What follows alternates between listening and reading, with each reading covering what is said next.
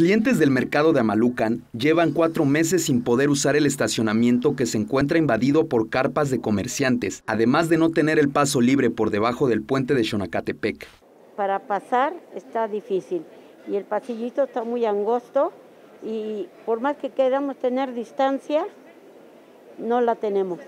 Bueno, esa es mi opinión, que yo los prefiero aquí arriba porque ya sé que está el estacionamiento, porque incluso nosotros vivimos aquí enfrente y el año pasado comenzó un proyecto de remodelación del mercado de Amalucan, por lo que locatarios fueron ubicados en carpas aledañas al inmueble, debajo del puente de Xonacatepec, pero a partir de diciembre la reconstrucción del recinto se canceló y los vendedores se niegan a regresar a sus locales. A partir de enero a la fecha nos dijeron que ya íbamos a tener el espacio de, el estacionamiento libre y es a la fecha que no tenemos nada. En ese tenor pues también nuestras ventas han bajado y sí solicitamos este, que pues se retire porque pues nos siguen este, afectando nuestra economía.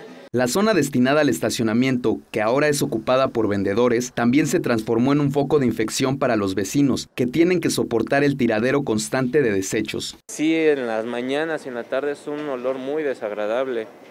Sí, igual mucha gente dice, no, pues es que ya no compro allá, mejor vengo a comprar acá porque sí, todo está oreado.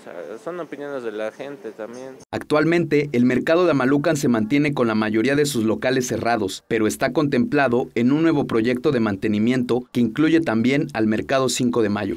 Con imágenes de Tomás Zamora, para hacer noticias, Luis Palafox.